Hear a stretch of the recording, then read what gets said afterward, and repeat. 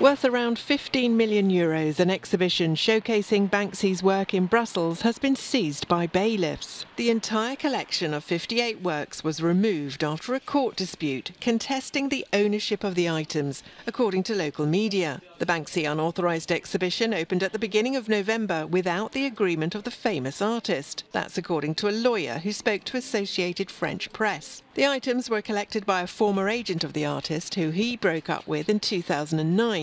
Steve Lazarides. A company based in Germany, On Entertainment, had liaised with the managers of the exhibition space, Stroker Inside, claiming they had permission to show the works. A spokesman for the company, Lazinc, founded by Lazarides in 2006, declined to comment, according to The Guardian.